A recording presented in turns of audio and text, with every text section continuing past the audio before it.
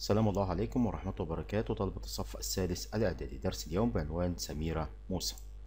تعال نتعرف على مين هي سميرة موسى.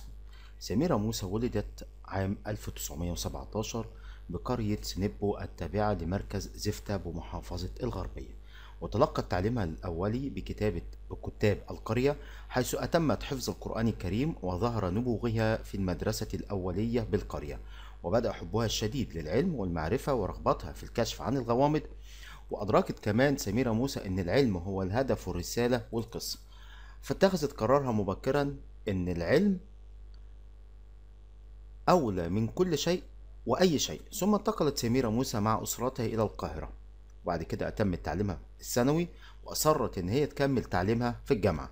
وإمام أسرار إصرارها ده وافق والدها على قرارها. التحقت سميرة موسى بكلية العلوم بجامعة القاهرة وكانت الأولى في جميع سنوات الدراسة وبعد كده حصلت على درجة الماجستير. وبعدها غادرت سميرة موسى مصر راحت لإنجلترا في بعثة علمية عشان تحصل على درجة الدكتوراه.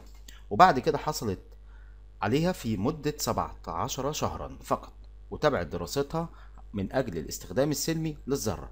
وكان ده في مكافحة مرض السرطان خاصة بعد أن دخلت أمها في صراع طويل مع هذا المرض.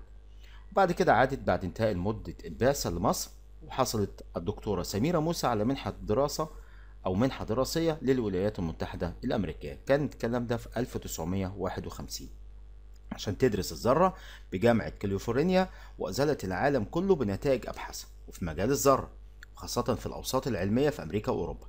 وكانت بتحب أو كانت تأمل إن هي تسخر علومها في الذرة لخير البشرية. وليس لهدمها فدعت العقد مؤتمر دولي بكلية العلوم وكان تحت شعار الذرة من أجل السلام. وكان شارك فيه كبار العلماء من جميع بقاع الأرض. بعد كده ذهبت سميرة موسى لأمريكا عشان تكمل أبحاثها ولتعريف الشعب الأمريكي بقضية بلادها.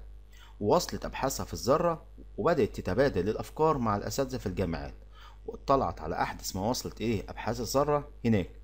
وفي عام وفي أغسطس من عام 1952 أعلنت إحدى الصحف المصرية نبأ وفاة الدكتورة سميرة موسى حيث هوت سيارتها فجأة من قمة جبل وماتت ومصر ما نسيتش ابنتها العظيمة فقد قامت بتكريمها عندما منحها الرئيس الراحل محمد أنور السادات وسام العلوم والفنون من الطبقة الأولى عام 1981 وأطلق اسمها على إحدى مدارس وزارة التربية والتعليم بقريتها وتقرر إنشاء قصر ثقافة بيحمل اسمها في قريتها والكلام ده كان عام 1998 بعض المفردات اللغوية اللي وردت في الدرس كتاب ده مكان لتحفيظ القرآن الكريم بالقرية والجمع كتاتيب. نبوغ تفوق أدركت علمت وفهمت السلمي أي من أجل السلام والعكس الحربي.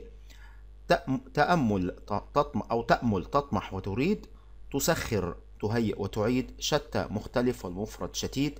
هوت سقطت وسام نشان والجمع أو سمة في مجال الذرة أي في علوم الذرة ومن العلوم الحديثة التي يسعى لها العالم. خلاص الدرس إحنا النهارده اتكلمنا عن نبوغ سميرة موسى في المرحلة الأولية بالقرية والتحاق سميرة موسى بكلية العلوم بعد كده حصولها على ماجستير وحصلت بعد كده على الدكتوراه من إنجلترا وكان كل اهتمامها بالاستخدام السلمي للذرة تدريبات الطالب هتقدر تقرأ التدريبات اللي قدامك دي بعد ما تسمع شرح من على موقع نفهم وتقدر تحل الأسئلة وكده. اتممنا الدرس والسلام عليكم ورحمة الله وبركاته.